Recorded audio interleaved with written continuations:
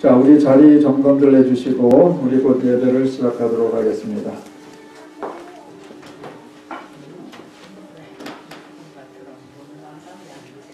오늘 다른 교회 가시느라고 저희 교회를 비우신 아, 몇 가정이 있습니다. 어, 그 가정에 오고 가는 길 다 하나님께서 인도해 주시기를 기도하시고 특별히 우리 오늘 아, 안식일은 여러분들 그 순서지에도 나지만은 참 한국에 마음 아픈 일이 일어나갖고 모든 나라 전체가 지금 슬픔에 잠겨 있는데 우리도 그것에 동참해서 우리의 마음을 그곳에 보내주고 또 그 사람들을 위해서 기도하고 그리고 하나님이 일어난 불행을 아주 또 귀한 기회로 쓰실 수 있도록 하나님의 간섭도 우리가 구하는 기도 시간이 됐으면 합니다.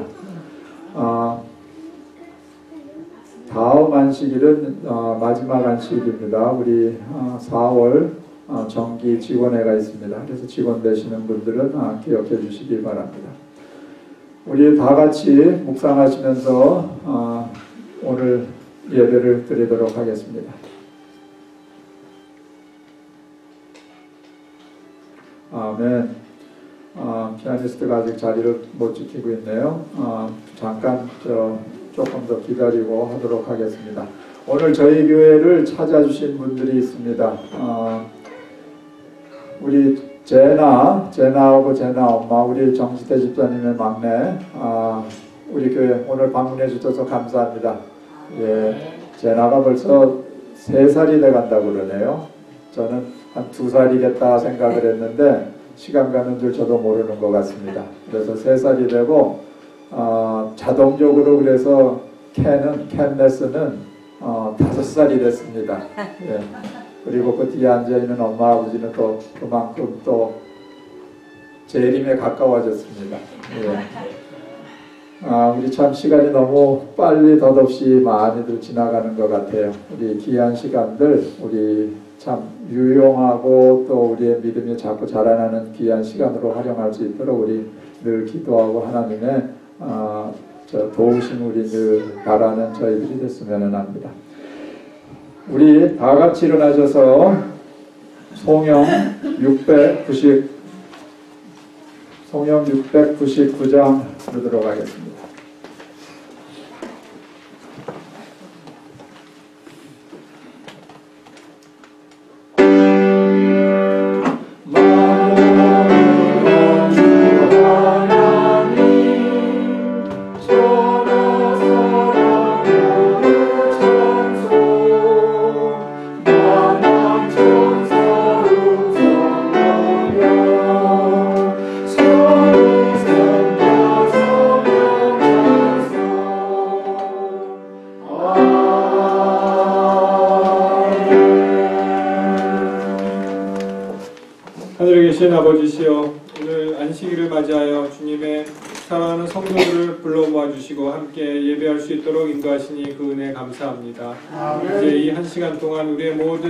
생각과 세상의 염려를 내려놓고 오직 아버지 하나님의 말씀에 또 예수 그리스도에 고정할 수 있도록 이 시간 축복하여 주시옵소서. 모든 말씀을 예수님 이름으로 간절히 기도하옵나이다. 아멘.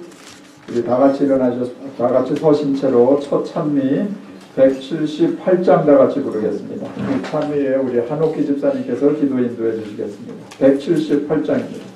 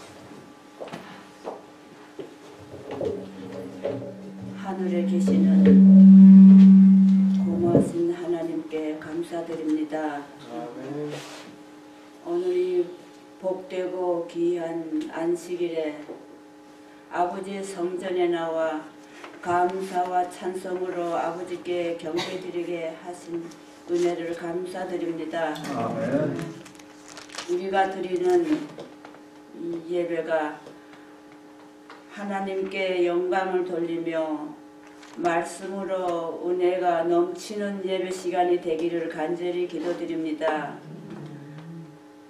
하나님 아버지, 우리는 미련하고 심히 연약하여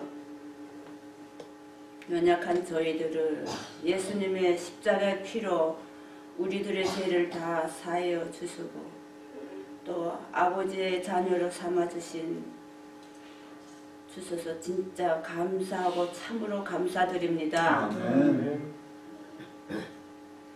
오늘 특별히 또 아버지의 말씀을 증거하실 목사님을 단위에 세우셨으니 성령님이 함께 하시고 주시는 말씀으로 마음의 평안을 얻고 주시는 말씀으로 새 생을 얻는 귀한 시간이 되기를 원합니다. 아멘. 특별히 이 전을 출입하는 모든 성도님의 가정 위에 부족함이 없이 하늘에 신령한 것으로 넘치도록 축복하여 주시옵시고 특별히 이 자리가 많이 비었습니다. 하나님 아버지 하나님을 사모하는 많은 영혼들을 불러 모아 주셔서 이 자리가 차고 넘칠 수 있도록 축복하여 주시옵소서. 아멘. 또 특별히 청년들을 위해 강건한 믿음을 주시고 장래에 하나님을 섬기며 하나님 사업에 든든한 일꾼이 될 수 있게 아버지께서 함께 보살펴 주실 줄로 믿습니다. 아멘. 오늘 특별히 또 몸이 불편하신 자녀와 마음이 외로운 자녀에게 하나님께서 친히 함께 하셔서 치료하여 주시고 그 마음을 위로하여 주시기를 간절히 기도드립니다. 아멘. 아버지 하나님 특별히 오늘 출타 중인 성도님 위에 어디에 있든지 간에 아버지의 은총이 종일토록 함께 하시고 이 모든 말씀을 우리를 죄에서 구원하신 예수님의 이름으로 감사하며 기도드립니다. 아멘.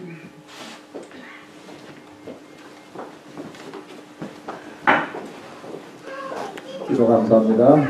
이제 오늘 우리들이 준비한 헌금을 드리는 시간입니다. 우리 수금 집사님들 수고해 주시기 바랍니다.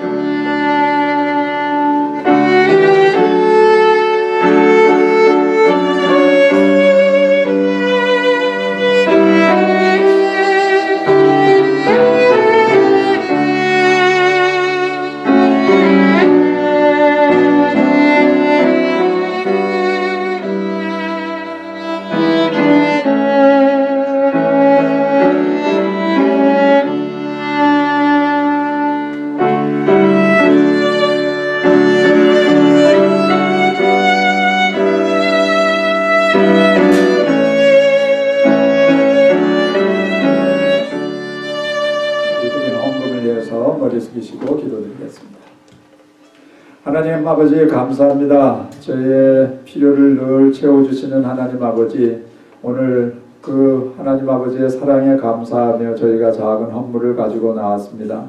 하나님 아버지 저희의 헌물을 받아주시고 또 드린 마음도 받아주시고 우리 마음속에 하나님이 자- 더 차고 넘칠 수 있도록 도와주시기를 간절히 원합니다. 이 헌금이 쓰이는 곳마다 하나님 아버지의 간섭에 같이 해주시고 귀한 영혼들이 하나님께로 돌아오는 귀한 자금들이 될 수 있도록 하나님 아버지 축복하여 주시기를 간절히 원합니다. 드린 손들이 하나님 아버지의 무한하신 은혜와 축복이 같이 하여 주실 것을 믿사오며 우리 주 예수님의 이름으로 감사하며 기도드리옵나이다. 아멘.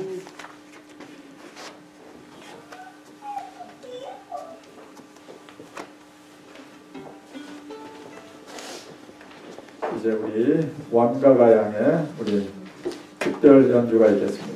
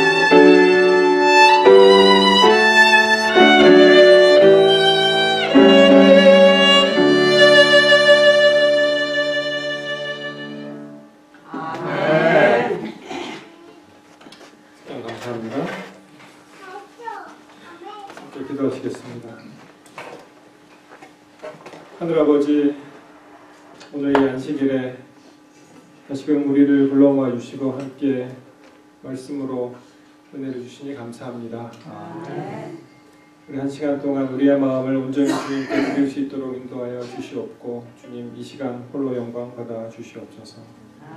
예수님 이름으로 기도합니다. 아멘. 한 주일 동안 안녕하셨습니까?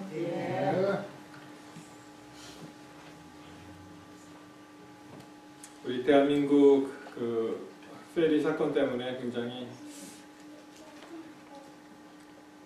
사람들이 소화도 안 되고 또 손도 안 잡히고 그런 얘기들을 많이 합니다. 아무튼 어, 우리 일주일 동안 또 하나님께서 우리를 보호하시고 우리 교회를 참석해 주신 우리 모든 성도님들 또 아까 인사했지만 오래간만에 웨이드 나와서 너무 반갑고요. 또 제나의 가족도 나와서 감사합니다. 사실은 오늘 한 구도자가 방문하기로 저랑 약속을 했었는데 안 오신 것 같아요. 아마 다음 다음 시간에 한번 다시 연락을 해서 오시도록 네, 하겠습니다. 오늘 성경 에베소서 2장 8절에 있는 말씀 우리 함께 보시겠습니다. 성경 에베소서 2장 8절 성경 가지신 분들은 제 성경으로 신약 성서 311페이지입니다. 우리 주보에도 나와 있습니다. 에베소서 2장 8절에 있는 말씀 같이 보겠습니다.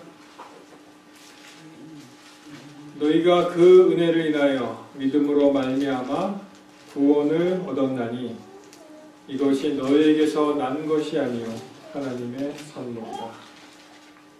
오늘 말씀 제목 하나님의 선물입니다. 하나님의 선물 이런 말씀 제목으로 함께 은혜를 받고자 합니다. 여러분 선물과 뇌물의 차이를 아시죠? 어떻게 다릅니까? 선물과 뇌물. 뇌물은 사망의 선물이고 선물은 거저주고 뇌물은 다른 거죠. 정. 네, 뭐 풀이하면 뇌물이 좀 냄새가 난다 이렇게 말씀하셨습니다. 선물은 어, 정말 감사함의 어떤 표현이라고 할 수도 있고요. 또 정말 자기가 좋아서 이렇게 주는 것이 선물이죠. 뇌물은 어느 대가를 바라고 하는 것 같아요. 대가를 바라고 내가 이렇게 돈을 썼으니 give and take 그런 느낌이 납니다. 여러분 어, 여태까지 받으셨던 선물 중에 가장 큰 선물이 어떤 것이었습니까? 한번 기억해 보세요. 생각해 보세요. 내가 받은 선물 중에 가장 큰 것은 과연 무엇일까?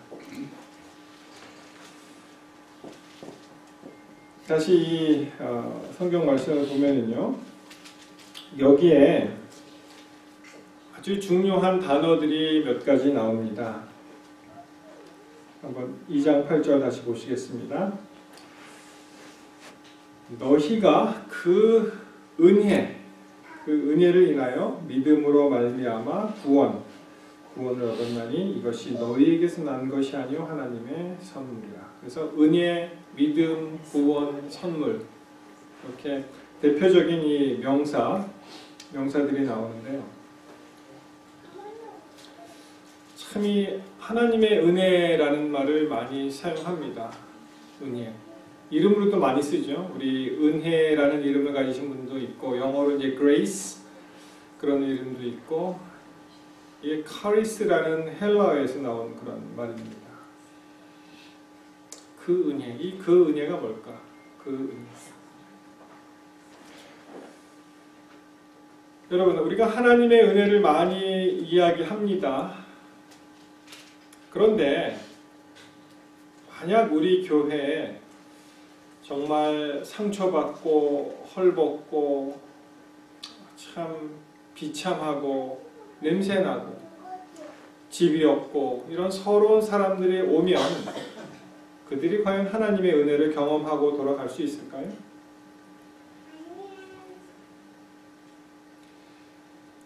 필립 얀시라는 사람이 지은 책 What's so amazing about grace 이라는 책이 있습니다. 아마 한글로도 번역이 된 것 같은데요. 거기에 참 서두부터 좀 충격적인 그런 그 내용이 나옵니다. 영어를 하시는 분을 위해서 잠깐 영어로 읽어드리겠습니다. 물론 이 필립 얀시라는 저자가 경험한 것은 아니고 친구로부터 이제 들은 이야기인데 이렇게 이야기가 시작됩니다. A prostitute came to me in wretched straits, homeless, sick, unable to buy food for her two-year-old daughter. 한 몸 파는 여인이 이제 만난 얘기를 하는 것이죠. 그 친구한테 왔어요. 보면서 참 많이 삶에 찌들고 집도 없고 아프고 두 살 된 아이의 딸, 두 살 된 딸에게 사줄 음식이 없는 그 사줄 능력이 없는 그런 여인이었습니다. Through sobs and tears, he told me she had been renting out her daughter, two years, two years old. 놀랍게도 하는 얘기가 이 눈물 범벅이 되고 참 고통스러운 그런 표정을 지으면서 하는 얘기가 자기가 두 살 된 딸을 빌려주겠다는 것입니다. 두 살 된 딸. To men interested in kinky sex. 그러니까 참 바람직하지 않은 그런 일을 원하는 사람들에게 이제 그 딸을 빌려주겠다는 거예요. She made more renting out her daughter for an hour than she could earn on her own in a night. 자기가 하룻밤 지내면서 벌어들일 수 있는 돈보다 이 두 살 된 딸을 빌려주면 더 많은 돈을 벌 수가 있다는 것입니다. She had to do it, she said, to support her own drug habit. 근데 그 이유가 뭐냐면은 마약을 하는데 이것을 끊을 수가 없고요. 그것을 충족하기 위해서 그런 일을 한다는 것입니다. 해야 된다는 것입니다. I could hardly bear hearing her sordid story. 참이 끔찍한 이야기죠. 듣고 싶지 않은 이 참 깨끗하지 않은 이야기 듣기가 굉장히 어려웠습니다. For one thing, I made it made me legally liable. I am required to report cases of child abuse. 목회자도 마찬가지인데요. 이러한 성폭력이라든지 아동 학대에 관한 이야기, 뭐 그런 이야기를 들으면은 저도 리포트를 해야 돼요.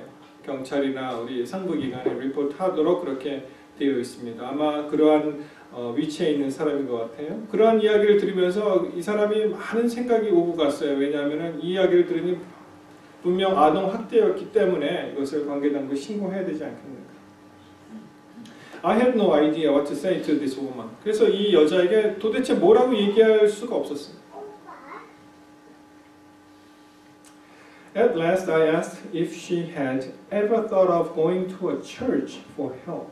그래서 마지막으로 이 사람이 생각해낸 것이 그녀에게 물어보았습니다. 뭐라고 물어봤냐면 혹시 교회 가서 좀 도움을 받을 그럴 생각은 없으세요? 라고 이제 물어보았습니다. I will never forget the look of pure, naive shock that crossed, crossed her face. 근데 그렇게 딱 질문을 던졌는데 그 여자가 순진하게 아주 나이브하게 순진무구하게 만감이 교차하는 그런 표정을 하면서 자기에게 이렇게 얘기한 것을 결코 잊을 수가 없습니다. 뭐라고 얘기했냐면 church 교회요? She cried. 교회란 말이에요? Why would I ever go there? 아니 도대체 제가 그런데 왜 가야 한다고 생각하십니까? I was already feeling terrible about myself. They'd just make me feel worse. 교회라고요? 전혀 그럴 생각이 없습니다. 나는 이미 내 자신에 대해서 이렇게 비참하게 생각을 하고 있는데 내가 그렇게 교회에 가게 된다면 내 이 처지를 더욱더 교회에서 나를 비참하게 만들 것입니다. 참 맨 처음부터 굉장히 참 무거운 주제였습니다. 이러한 이야기를 또 이러한 책을 이렇게 보면서 참 어떻게 이 세상이 악해도 이럴 수가 있을까. 그런데 이 여인이 하는 이야기가 교회에서 상처받은 사람이 교회에 와서 치유받고 기쁜 생활로 예수님께 돌아가기는 커녕 거기에 가면은 더 큰 고통과 또 더 자기가 더 비참하게 지게 된다는 그런 사실에 이 책은 무언가를 암시하고 있습니다. 우리 교회에 과연 이런 은혜가 있을까요? 만약에 만약에 이 교회에 와서 정말 헐벗고 굶주리고 우리의 도움이 필요한 사람들 간혹 오죠 그런 사람들이 와서 심지어는 돈을 달라고 합니다. 전에 있었던 교회에서 그냥 그런 사람이 와서 이렇게 좀 하면은 좀 불편하고 하니까 또 쉽게는 그냥 돈을 줘서 보내는 경우도 보았습니다. 또 한편에서는 그렇게 한다 치더라도 그들의 근본적인 문제를 해결할 수가 없기 때문에 그렇게 하면 안 된다는 그런 의견도 있었습니다. 하나님께서 우리에게 주신 그 은혜, 바로 이 그 은혜가 무엇일까요? 여러분이 그 은혜라는 그런 수수께끼를 풀기 위해서 우리가 에베소 1장으로 다시 갑니다. 자, 한번 보시겠습니다. 에베소 1장에 가시면 에베소서 1장 사도 바울이 흔히 그의 편지서에 어, 사용하듯이 여기도 그렇게 썼습니다. 하나님의 뜻으로 말미암아 그리스도 예수의 사도된 바울은 에베소에 있는 성도들과 그리스도 예수 안에 신실한 자들에게 편지하노니 2절 하나님 우리 아버지와 주 예수 그리스도를 조차 은혜와 평강이 너에게 있을지어다. 그래서 항상 이 은혜와 평강이라는 그런 단어가 참 많이 나옵니다. 은혜와 평강. 이 동전의 양면과 같이 주께서 우리가 감당할 수 없는 자격도 없는 사람들에게 주께서 은혜를 베푸시고 그 결과 하늘의 평강이 우리의 삶 속에 임한다는 것입니다. 그래서 만약에 우리가 이 교회에 와서 이러한 은혜와 평강을 경험하기는커녕 더 여기 와서 다툼과 불만과 싸움을 경험하고 간다면은 정말 그것은 안타까운 사실입니다. 이 치유 받아야 할 이 교회에서 도리어 상처를 받고 간다는 것 얼마나 끔찍한 일입니다. 3절 보시겠습니다. 찬송하리로다 하나님 곧 우리 주 예수 그리스도의 아버지께서 그리스도의 하늘에 속한 신령한 복으로 우리에게 복 주시되 하나님의 복이 나오죠. 키 포인트는 그리스도 안이라는 단어가 있습니다. 4절 곧 창세전에 그리스도 안에서 다시 그리스도 안이라는 단어가 반복되죠. 우리를 택하사 우리로 사랑 안에서 그 앞에 거룩하고 흠이 없게 하시려고 그리스도 안에서라는 말은 사랑 안에서라는 말과 대치될 수 있고요. 4절 5절입니다. 그 기쁘신 뜻대로 우리를 예정하사 예수 그리스도로 말미암아 자기의 아들들이 되게 하셨으니 무슨 말입니까? 그리스도를 통해서 우리가 어답트 됐다는 거예요. 아들들이 되었다는 것입니다. 이는 그 사랑하시는 자 안에서 우리에게 거저 주시는 바 그 은혜의 영광을 찬미하게 하려 하는 것이다. 그래서 여러분 이 은혜라는 그러한 단어 속에서 아주 충격적인 그러한 개념이 여기 나오는데 그 은혜란 무엇이냐면은 죽을 수밖에 없는 우리들이 죄에 찌든 우리들이 죄인 될 수밖에 없었던 우리들이 그리스도를 말미암아 우리가 그분의 아들이 되었다는 것입니다. 우리가 그분의 아들이 되었다는 것. 사실 예수 그리스도보다 더 큰 선물은 없습니다. 그렇죠? 예수 그리스도보다 더 큰 선물은 없는 거예요. 우리가 구체적으로 은혜를 입었다는 것은 우리가 그런 자격도 없는 우리가 하나님의 아들이 되었다는 것입니다. 또 일방적으로 하나님께서 그렇게 섭리하셔서 우리를 아들과 딸로 만들어 주셨다는 것입니다. 그 서두에도 말씀드렸지만 우리 대한민국 전체가 정지했다고 해요. 정지. 어느 날 뉴스를 보니까 탑승객 476명, 구조 174명, 사망 33명. 그런데 실종 이렇게 나오는데 아직도 한 269명이 실종이라는 거예요. 제가 깜짝 놀랐습니다. 배에 타고 있던 사람이 배가 뒤집혔는데 구조는 한 176명이 되었고 사망자가 맨 처음에 뭐 3명, 4명 이렇게 나오다가 지금 33명까지 갔지만 그런데 이 숫자가 너무 큰 거예요. 실종이 한 270명이 된다는 것입니다.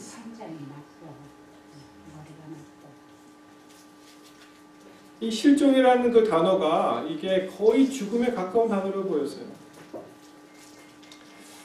참 제가 부질없는 생각을 해보았습니다. 하나님께서 우리를 만드실 때 아니 이 옆에다 좀이 물고기 아가미를 좀 하나 이렇게 넣어두시지. 그러면 물에 빠져 죽지는 않을 거 아니에요. 보통 이 길에서 다닐 때 그냥 이 호흡하고 호파로 호흡하고 그리고 혹시 물에 들어와서 오래 있게 되면은 또 아가미로 호흡하고 그럼 얼마나 좋았을까. 여러분 우리 인간은 참 연약한 존재라는 것을 다시 한번 이 사건을 통해서 깨닫게 되었습니다. 우리는 연약한 존재예요. 언젠가는 죽을 수밖에 없는 참 이 사건을 보니까 고등학생들이 주예요. 수학여행. 수학여행 뭐 잘 기억이 안 납니다만 안산 무슨 무슨 고등학교였죠?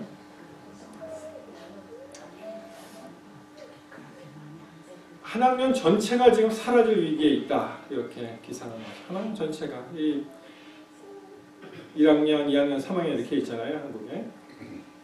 그러면 한 학년 전체가 없어지는 거예요. 다 이제 죽을 운명에 처했기 때문에. 참 놀라운 것은 사실 1993년에 이와 비슷한 일이 있었습니다. 21년 전에 전북 부안 그 위도라는 작은 섬에서 그 당시에 정원에 한 141명을 초과해서 362명이 탑승했는데 그 악천후 선장이 그때 안 떠날라 그랬어요. 이 너무 이 길이 안 좋으니까 해로가 안 좋으니까 그런데 하여튼 뭐 떠밀려서 출항을 했지만 292명이 사망된 사망하는 그런 사건이 있었습니다. 한 20년 전에 그런 일이 있었는데 아직도 변한 게 없는 거예요. 교훈을 받은 것이 없습니다. 참 안타까운 일이 아닐 수 없습니다. 많은 그 사람들이 또 학부모들이 비에 젖어서 울면서 그 자녀들을 기다리는데 또 안타까운 것은 그 당시에는 이 거의 자녀가 한 명밖에 없었다는 거예요. 그래서 그 사랑하는 아들과 딸을 잃어버리면 더 이상 자녀 살아있는 자녀가 없는 그런 상태였습니다. 여러분 이 사건을 보면서 물에 빠진 베드로를 한번 생각해 보게 되었습니다. 물에 빠진 베드로. 그 내용이 마태복음 14장에 나옵니다. 여기에 참 놀라운 비밀이 하나 있는데 예수께서 이 베드로 이 사건을 통해서 어떻게 인류를 구원하시는가에 대해서 아주 분명하게 나타내 주는 그런 사건이라고 생각하였습니다. 함께 보십니다. 마태복음 14장 22절.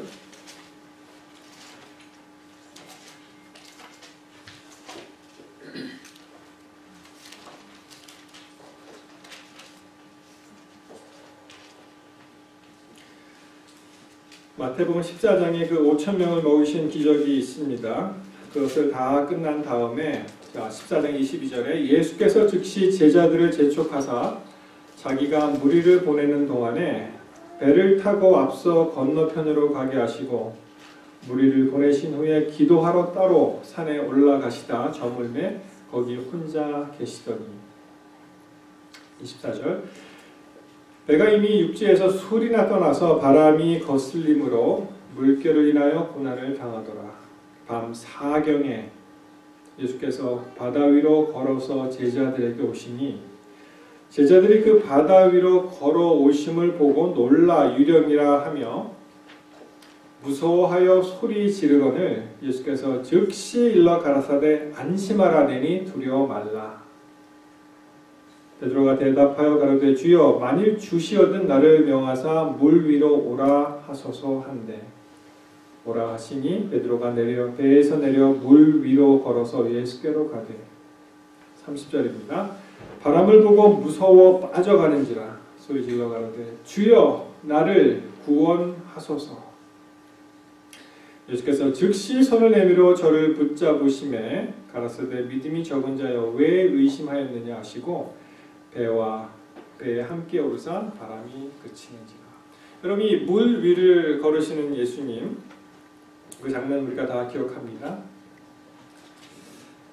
베드로가 보니까 예수님이 물 위를 걷고 오시는 거였어요. 사람들이 뭐 놀라 유령이다 이렇게 막 소리를 질렀고요. 근데 이 베드로가 어떤 마음이 들었을까요? 아 참 영어로 표현해서 참 쿨하다 우리 예수님이 어떻게 물 위를 걸으실 수가 있을까? 아마 그렇게 생각했을지 모르겠습니다. 그리고 한 걸음 더 나아가서는 나도 저희를 좀 해봤으면 하고 예수님께 요청을 했는지도 모르겠습니다. 그래서 이렇게 어, 이야기했습니다. 주여 만일 주시어든 나를 명하사 물 위로 오라 하소서. 여러분이 물 위를 걷는 그런 예수님의 그 기사 이 사건을 보면서 이 현대인들이 좀 짓궂게 장난을 많이 한 것 같습니다. 이 요새 이제 컴퓨터 유튜브를 통해서 물 위를 걷는 기적들에 관해서 이렇게 영상이 나와 있어요. 보면은 그러면은 정말 그것을 이렇게 보면은 이제 깜짝 놀랄 정도로 그렇게 재미있게 물 위를 아주 뭐 이 평지를 걷듯이 걷는 사람들이 있습니다. 뭐 장소는 무슨 어느 호숫가에서도 그런 게 찍은 그런 장면이 있고 또 어떤 장면은 이 라스베이가스인가요? 거기 어떤 호텔에서 또 호텔 수영장에서 또 이렇게 찍는 장면이 있습니다. 그 옆에 있는 사람들이 사실 다 연출한 거예요. 연출해갖고 뭐 이렇게 깜짝 놀라는 표정도 짓고 또 뭐 박수도 치고 뭐 또 그 사람이 걸어가는 그 그곳에 이렇게 그 밑을 막 수영하는 장면도 있고 뭐 이렇게 있습니다. 네, 그게 다 가짜예요. 보시면은 그 아크릴판에 이렇게 살짝 이렇게 놔갖고 이 사람이 이렇게 걷다가 이렇게 이렇게 걷다가 의도적으로 그 아크릴판을 그 공간을 띄워놓고 사람들이 수영해서 잠수해서 그 밑을 지나갈 때 이 사람이 좀 이렇게 넓게 이렇게 건너뛰는 장면도 포착이 되고 그래서 하여튼 그런 장면들을 본 적이 있습니다. 자 이제 베드로가 물에 내려서 그 배에서 내려서 물 위로 걸어서 예수님께 가고 있습니다. 그런데 29절하고 30절에 이제 장면이 바뀌는데요. 장면이 바뀌는데 베드로가 예수를 향해서 예수께로 가야 될 베드로가 어디를 보았다고 나옵니까? 여기서 바람을 보고 무서워서 빠져나는 거예요. 여러분 베드로가 예수께 그 눈을 고정해서 계속 걸어갔다면 그는 빠지지 않았으리라고 생각을 합니다.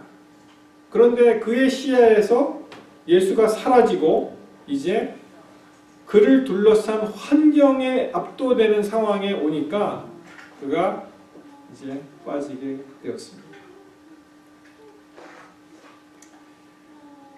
여기서 주는 우리에게 주는 주시는 교훈은 우리의 구원이 환경에 있지 않다는 것입니다. 우리의 구원이 내 자신에 있지 않다는 것입니다. 우리의 구원이 내가 얼마나 착하고 선하게 잘 사느냐에 있지 않다고 성경은 가르치고 있는 것입니다. 여러분이 환경을 둘러보면은 이건 절망이에요. 또 내 자신을 들여다보면은 나 같은 죄인이 어떻게 구원을 받았을까? 이것도 또 하나의 절망을 경험을 합니다. 그리고 또 옆을 둘러보니까 어, 저 사람은 나보다 더 나은 것 같다. 그리고 또 자괴감에 빠지기도 합니다. 나를 보니까 내가 한심한. 성경은 가르칩니다.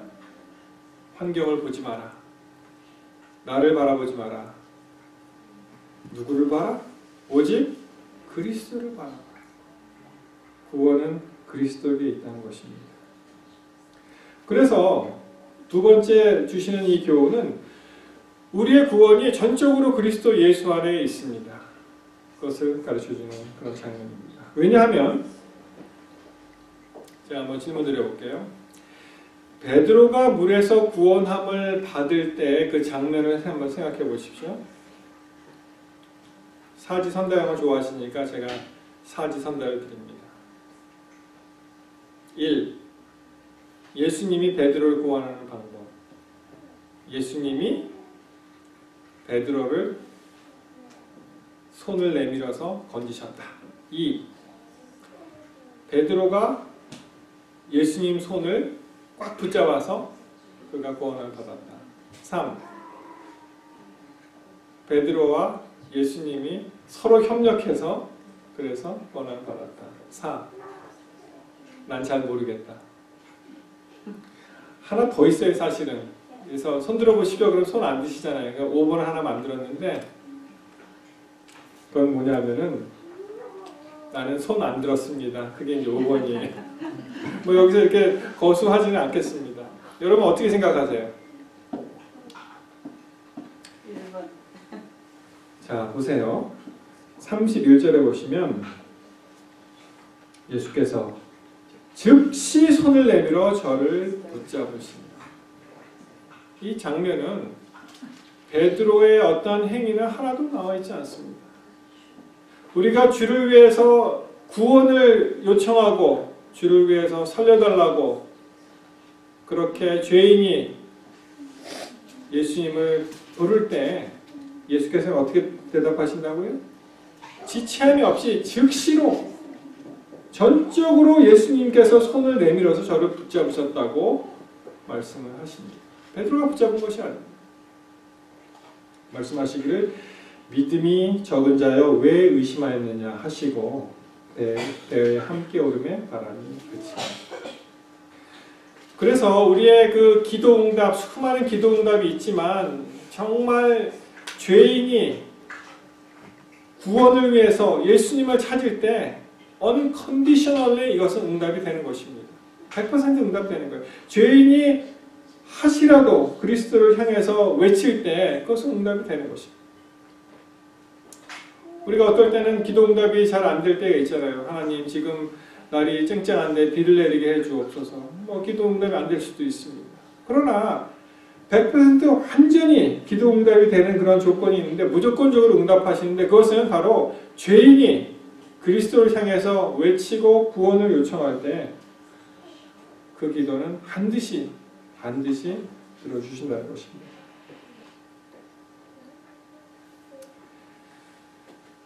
베드로가 한 일은 딱 하나밖에 없죠, 사실. 그가 강력한 베드로의 오른팔이 예수님 옷자락 붙잡은 것이 아니었습니다. 그가 피트니스 센터에 다녀서 몸의 근육을 많이 키워서 그가 예수님을 강력하게 붙잡은 것이 아니었어요. 단 한 가지. 예수 그리스도께 그가 요청했다는 것입니다. 구원하여 주옵소서. 베드로의 전적인 선택이 그를 구원의 길로 인도했다는 것입니다. 정리하면 우리의 구원 문제에 있어서는 우리가 할 수 있는 것이 없다는 것입니다. 그런데 우리의 현실은 어떠냐 하면 여러분 혹시 우리 가운데 이렇게 생각하시는 거 없습니까? 우리가 좀 어떨 때 예수를 좀 잘 믿고 착하게 살고 아, 맨날 성경 보고 기도 열심히 하고 소위 말해서 새벽기도 빠지지 않고 잘 나가고 그리고 교회 대청소라면 맨 처음에 빗자루 들고 1등으로 쫓아다니고 방문 열심히 하고 구제 많이 하고 소설책이 더 재밌어 보이지만 그래도 그럼에도 불구하고 열심히 성경책을 더 읽고 유행가 부르고 싶을 때에도 열심히 찬송가 찬미가를 더 부르고 연속극이 더 재밌어 보일지라도 그럼에도 불구하고 나는 신앙적으로 열심히 살아가려고 생각할 때에는 어때요? 우리 스스로 생각하기에 내가 이 정도면 아, 구원을 받을 수 있겠다. 그런데 그렇게 되지 않을 때는 어떻습니까? 아, 나는 구원을 못 받을지도 모르겠다. 뭐 그런 생각을 하시진 않습니까? 그 이유는 전적인 구원은 예수님께로 오는데 예수님을 바라보지 않고 우리 자신을 바라보기 때문에 그렇습니다.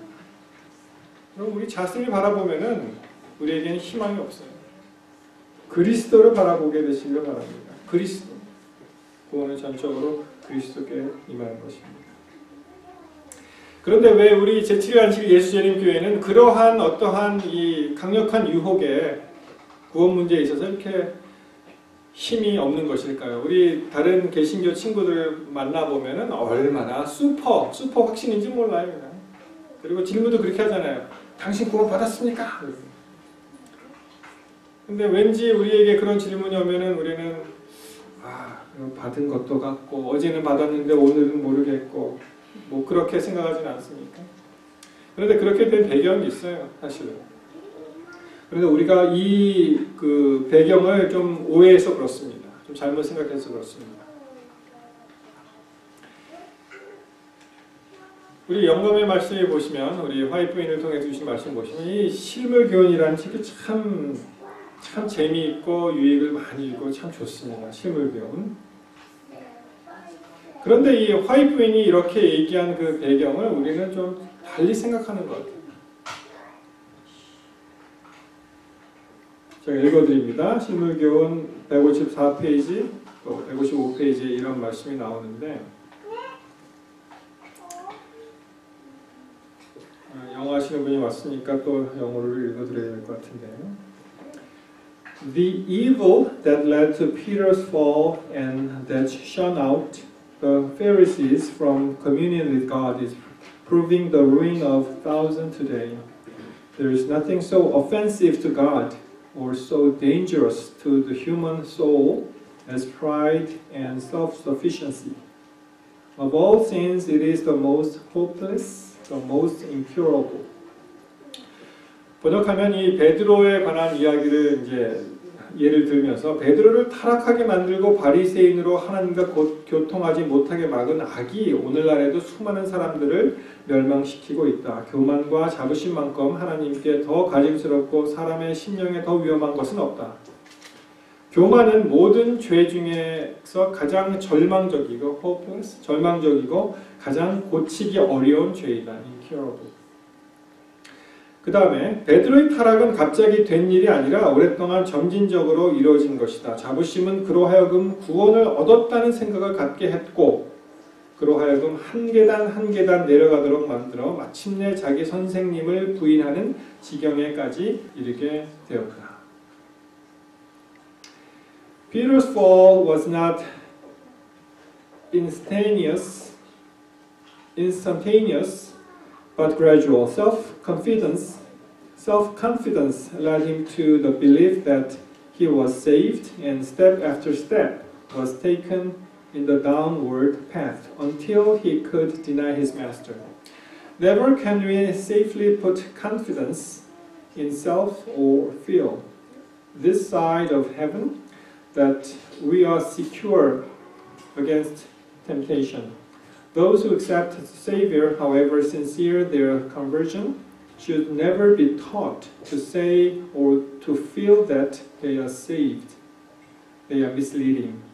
Everyone should be taught to cherish hope and faith, but even when we give ourselves to Christ and know that He accepts us, we are not beyond the reach of temptation. God's word declares, "Many shall be purified, many shall be purified and made white and tried." Daniel 20:10 Only he who endures the trial will receive the crown of life. 번역하면은요. 이 세상에서 자아에 대한 확신을 갖거나 시험에 대한 위험성이 없다고 생각하는 것은 결코 안전치 못하다. 구주를 받아들인 사람이 아무리 진실하게 회개했다 할지라도 우리는 그들에게 그들이 구원을 받았다는 말을 해주거나 그런 생각을 갖도록 가르쳐서는 안 된다. 그렇게 하는 것은 그들을 그릇 인도하게 되는 것이 된다. 모든 사람에게 희망과 믿음을 갖도록 가르쳐 주어야 한다. 비록 우리가 자신을 그리스도께 바치고 그분이 우리를 받으셨다는 사실을 안다 할지라도 우리가 전혀 시험을 받지 않을 곳에 있는 것은 아니다. 하나님의 말씀은 많은 사람이 연단을 받아 스스로 정결케 하며 희귀할 것이 라고 다니엘 12장 10절에 말씀하셨다. 시험을 참고 견디는 자만이 생명의 멸관을 얻을 것이다. 요약하면 어떤 말입니까? 참 이 말이 와닿습니다. 구주를 받아들인 사람이 아무리 진실하게 회개했다 하더라도 자 이제 우리가 주님을 받아들이고 정말 진실하게 회개를 했습니다. 우리는 그들에게 그들이 구원을 받았다는 말을 해주거나 그런 생각을 갖도록 가르쳐서는 안 된다 라고 말씀하십니다. 왜 그런지 아세요? 왜 그런지 아십니까? 물론 내가 구원을 받았다고 확신하는 것참 좋습니다. 그리고 그렇게 우리가 신앙생활을 해야겠죠. 그런데 그 위험성을 뭐라고 말씀하시냐면은 그리스도를 받아들이고 그들의 최초의 확신을 가지고 나는 구원을 얻었다고 말하는 사람은 자기 자신을 의지할 위험이 있다. 여러분 나는 구원을 받았다는 확신에 차 있으면은 이제는 더 이상 예수님이 안 보이고 나 자신을 의지할 그런 위험이 있다는 거예요. 이런 사람들은 자신의 연약함을 볼 줄 모르고 항상 하나님의 능력이 필요하다는 것을 잊어버립니다. 그래서 여러분 이 구원이라는 그러한 큰 전제는요. 첫째는 예수 그리스도께서 온전히 우리를 위해서 이룩하신 것이기 때문에 우리는 계속 그리스도를 바라보아야지 아무리 확신에 차 있다고 우리가 우리 자신을 의지해서는 안 된다고 말씀하시는 것입니다. 아멘. 좀 어렵나요? 전달이 잘 됐습니까? 첫째는 우리는 그리스도를 바라보아야 하고 아무리 그러한 구원의 확신이 있더라도 더 이상 우리를 바라보고 확신에 찬 그러한 예수가 필요 없다는 그런 생각을 버리기 위해서 그것을 매일매일의 삶 속에서 한번 재확인해 볼 필요가 있다는 것입니다. Those who accept Christ and in their first confidence say, I am saved, are in danger of trusting to themselves. They lose sight of their own weakness and their constant need of divine strength. They are unprepared for Satan's devices and under temptation, many like Peter fall into their very depth of sin. 하나님의 은혜는 그리스도를 통해서 우리에게 오십니다. 하나님의 가장 큰 선물은 바로 그리스도라고 우리가 배웠습니다. 여러분 이 은혜의 속성 하나님께서 우리를 아들 삼아 주신 그 은혜의 속성 이것은 하나님의 속성임과 동시에 그리스도의 십자가를 통해서 이것이 구체화된 거예요. 그리스도의 희생을 통해서 그것이 하나님의 속성이 구체화되었습니다. 갈라디아 2장 21절에 보시면 내가 하나님의 은혜를 패하지 아니하노니 만일 의롭게 되는 것이 율법으로 말미암으면 그리스도께서 헛되이 죽으셨느니라. 우리로는 할 수가 없는 것입니다. 하나님께서 그리스도를 우리에게 보내주셔서 그가 십자가에서 돌아가심으로 그 구원을 완성하신 거예요. 그리고 이것이 만인에게 허락되었다는 것입니다. 선택된 자에게만 허락된 것이 아니고 이미 만인에게 허락이 되었습니다. 그들이 선택을 하던 안 하던 상관없이 그것은 이미 만인에게 허락이 되었다는 것입니다. 로마서 3장 23절에 보시면 모든 사람이 죄를 범하였음에 하나님의 영광을 이루지 못하더니 그리스도 예수 안에 있는 구속으로 말미암아 하나님의 은혜로 값없이 의롭다 하심을 얻은 자 되었느니라. 이렇게 선언하시는 거예요. 이미 만인에게 이 복음은 전파되었습니다. 우리가 하나님의 은혜로 구원을 받았지요. 동시에 우리는 믿음이라는 창을 통해서 구원을 받습니다. 우리가 할 수 있는 것은 그것밖에 없어요. 하나님 쪽을 적극적으로 선택하는 것밖에 없는 거예요. 여러분 여기에 나오는 하나님의 선물, 하나님의 선물.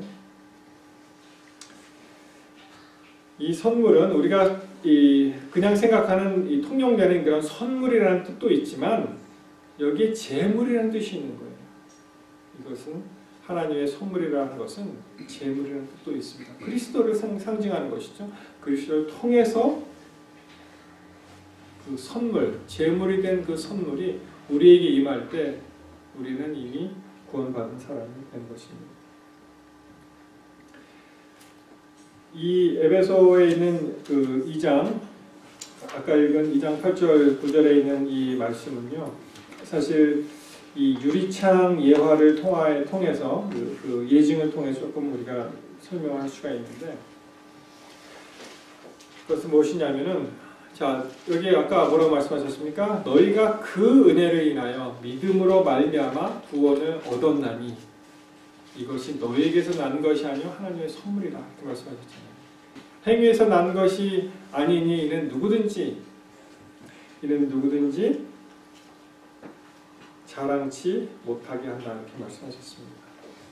여러분 이 우리가 이제 건물을 생각할 때 건물에서 빨래를 말린다고 한번 생각해 보세요. 이 미국에서는 빨래를 드라이어로 말리니까 이게 잘 좀 하여튼 한국식으로 생각하면은 그러면 이미 바깥에는 이 햇볕이 있습니다. 햇볕이 있어요.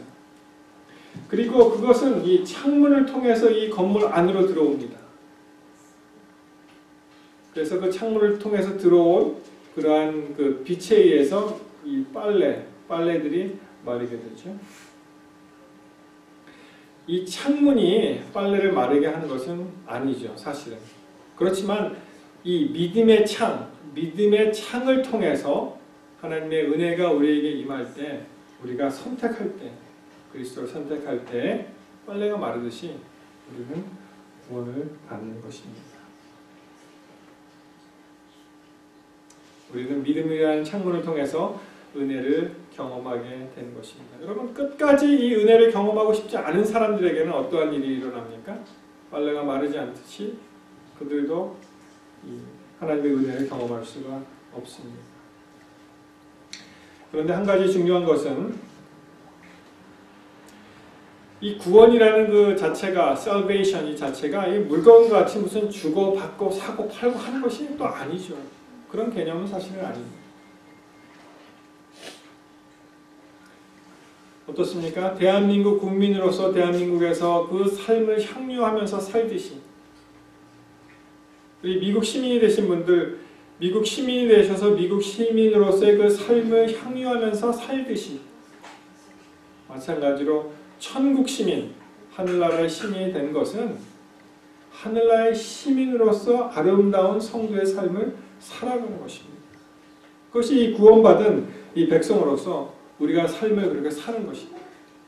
그러니까 이 구원을 뭐 받았다 안 받았다 뭐 사고 파는 그러한 개념이 아니라 사랑하는 성도 여러분 구원의 삶을 향유하게 되시기를 바랍니다. 아멘. 그 삶을 사는 거예요.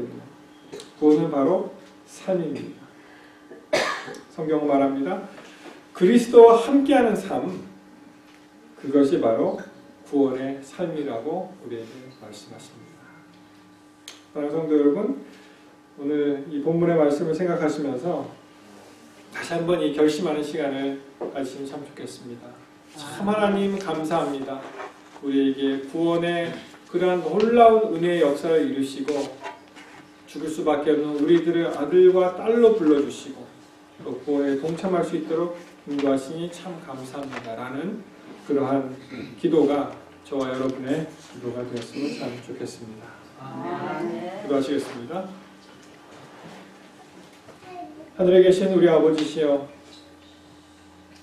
우리에게 예수 그리스도를 주셔서 참으로 감사합니다. 바로 본데 이 연약한 우리 우리가 믿음의 눈으로 예수 그리스도를 끊임없이 바라볼 수 있도록 주님 도와 주시옵소서. 아멘. 우리가 우리의 삶을 되돌아보고 우리의 그 처지를 생각할 때 정말 비참하고 참 한심한 생각이 들지만 그럴수록 더, 더 우리에게 그리스도가 필요하다는 것을 가르쳐 주시고 또 그리스도를 확실히 잡을 수 있도록 주님 도와주시옵소서. 우리의 인생이 천국 시민의 삶을 살 수 있도록 도우시고 우리가 주님과 함께하는 그러한 삶이 아름다운 삶이 되어서 정말 이 땅에 살면서도 하늘을 경험하면서 기쁘고 감사하며 찬양하는 그러한 귀한 삶 계속 이어갈 수 있도록 주여 도와주시옵소서. 아멘. 이 모든 말씀을 예수님 이름으로 간절히 기도합니다. 아멘.